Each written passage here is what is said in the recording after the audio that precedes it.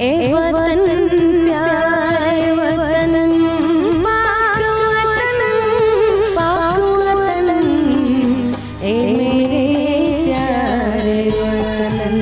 جشن آزادی پر وطن سے محبت کے جذبات کا اظہار کا موقع ہو تو فنکار بھی کسی سے پیچھے نہیں رہتے۔ پاک سرزمین کی آزادی کی خوشی کے اظہار کے لیے پشاور سے تعلق رکھنے والی پشتوں کی نامور گلوکارہ نازیہ اقبال آگے آئی اور استاد امانت علی خان کا لہو گرمانے والا ملی نغمہ گا کر پاکستان سے اپنی محبت کا حق ادا کیا۔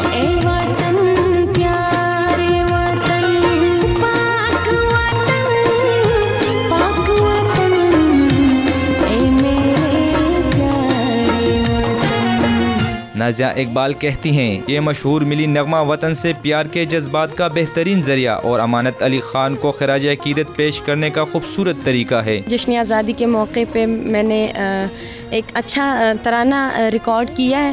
وہ بھی استاد امانت علی خان کی یاد میں اور مجھے بہت پسند ہے۔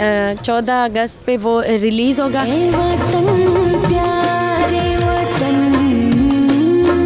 نازیہ اقبال کی آواز ہی نہیں، بلکہ خوبصورت عکس بندی کے باعث بھی جشن آزادی پر قوم کے لیے تحفہ ہے۔ کیمرہ مین کفایت شاہ کے ساتھ عرفان مسازئی 92 نیوز، پشاور۔ اے میرے